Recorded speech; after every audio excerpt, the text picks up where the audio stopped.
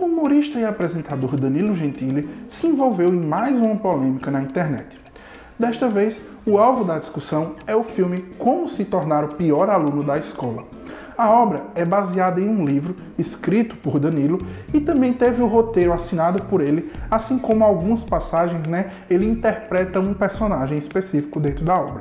O filme conta a história de um jovem rapaz que vive ali um momento muito complicado na escola quando um diretor autoritário e politicamente correto faz normas cada vez mais difíceis de serem seguidas e podem levar ele a repetir de ano.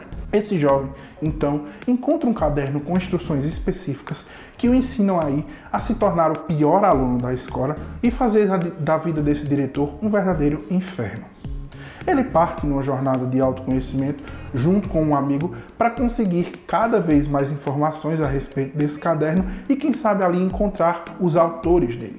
O filme tem sido alvo de polêmicas desde que ele estreou em 2017, tanto por conservadores né, da direita quanto por liberais da esquerda, que questionam ali o tom politicamente incorreto da obra. Desta vez, o filme está sendo acusado de fazer apologia à pedofilia. O trecho em questão né, conta ali com a participação do ator Fábio Pochá, que também está acusado né, pelas pessoas ali envolvidas, né? Ele interpreta um personagem ambíguo e extremamente ali caricato que solicita né, aos estudantes, né, aos jovens, os adolescentes, que é, façam favores sexuais para ele em troca de um pedido que eles fazem.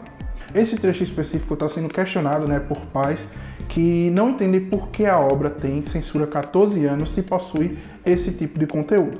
Através do Twitter, Danilo se posicionou a respeito do caso e disse que só está muito feliz por ter desagradado tanto bolsonaristas quanto petistas. Ainda sobre as acusações, ele cita falso moralismo. A resposta do humorista né, faz menção ao fato de que muitos apoiadores do presidente Jair Bolsonaro estão utilizando esse trecho do filme para descredibilizar Danilo nas redes sociais. Inclusive, né, o ministro da Justiça, o Anderson Torres, disse né, que vai tomar todas as medidas cabíveis e que já acionou aí vários é, setores do Ministério da Justiça para tomar medidas cabíveis ao, ao caso. Ele, ele não detalhou, né, mas mais informações devem seguir em breve. Apesar da polêmica, o filme segue disponível aí na Netflix e também no serviço de streaming Globoplay. O que é que você acha disso?